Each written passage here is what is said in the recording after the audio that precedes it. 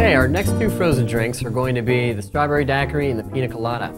We're going to make these two simultaneously since they're very, very similar.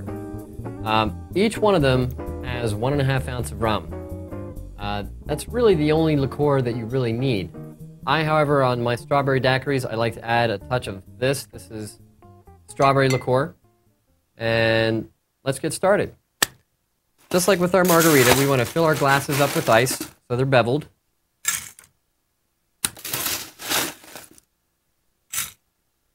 Now, when you're making the strawberry daiquiri, another thing, another way you can uh, try to earn yourself a better tip, ask that person if they would like a sugar rim on their strawberry daiquiri.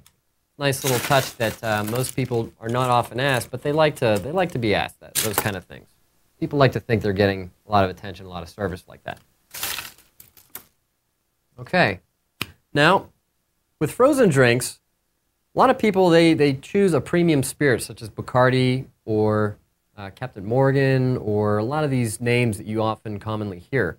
However, I don't really think it's that necessary. Um, when you're mixing spirits with such things as like sours mix or strawberry daiquiri mix, pina colada mix, um, often the nuances that make that spirit that spirit a premium spirit kind of get lost. They get, get lost in the mixture. So um, you can use Bacardi, that's fine, but uh, for all intents and purposes today, we're going to use something a little bit cheaper.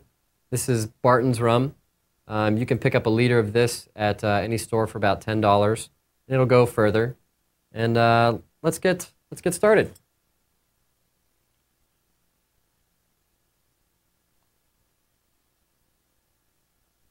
Okay. We now have our liqueur in both glasses. Now the strawberry one, I'm going to put just a dash of this one in. Two dashes of the strawberry liqueur. And then we top it off with our strawberry daiquiri mix.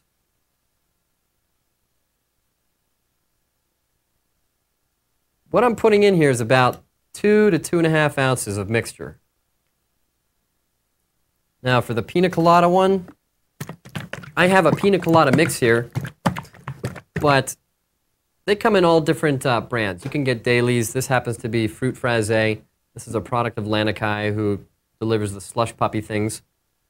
Um, a way a lot of people make pina coladas, they'll use pineapple juice and something called Coco Lopez, which is just a can of concentrated coconut.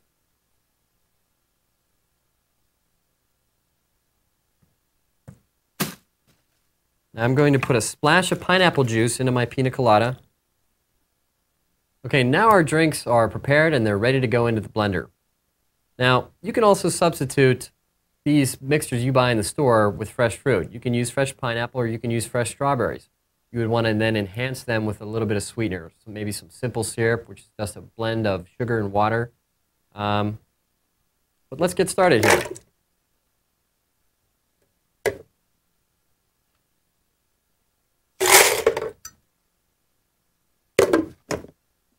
Always make sure your top is on the blender. It's very important.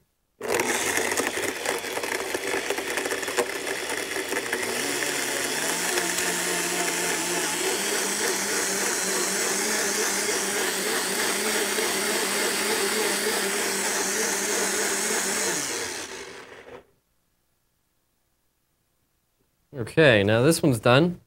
I'm going to throw this one up and get that one going while I pour out the pina colada.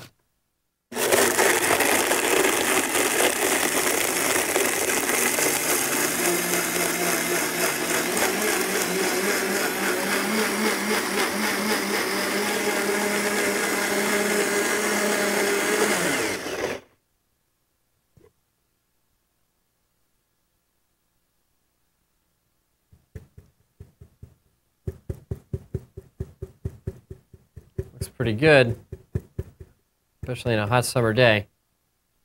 Now see, this has got a nice smooth consistency, as does the pina colada, and it won't melt right away on you. Now as a nice little touch for garnish, I like to add a little dollop of whipped cream.